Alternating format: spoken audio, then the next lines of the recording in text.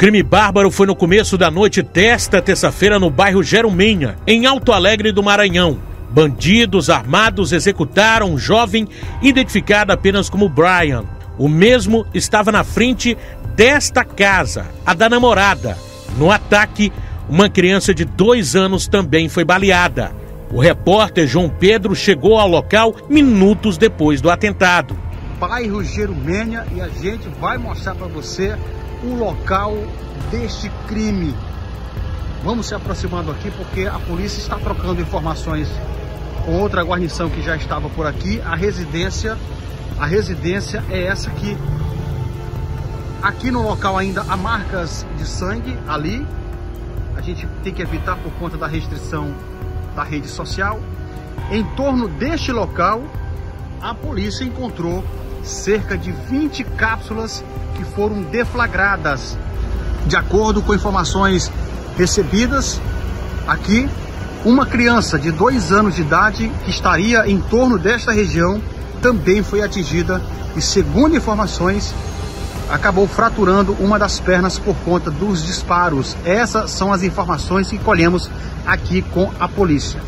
As polícias militar e a civil foram ao local. O comando da PM em Bacabal também atendeu a ocorrência em Alto Alegre. Fez uma grande operação na noite desta terça no intuito de localizar os assassinos, mas eles não foram encontrados. Major Hamilton da Polícia Militar disse que já tem a identidade do assassino e que a motivação do crime é um confronto entre facções que vem acontecendo em Alto Alegre do Maranhão.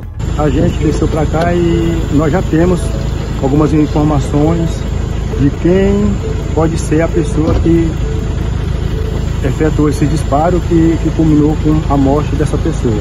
Certo? Então, agora nós vamos começar umas operações aqui na cidade para tentar é, capturar o mesmo, certo? Então a gente já conversou com algumas pessoas aqui e as informações estão batendo com, com quem a gente está pensando, certo? Então a gente não pode divulgar aqui o nome, certo?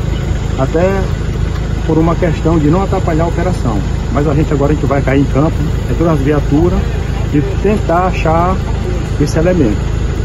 O que teria motivado essa morte? Segundo informes, é o crime de, de facções. Aqui é aquela, é, é, continua aquela guerra de facções. Então, esse que, que morreu, a gente já colheu informação e familiares falaram que ele, que ele tinha envolvimento com droga e era ligado ao grupo do PCC.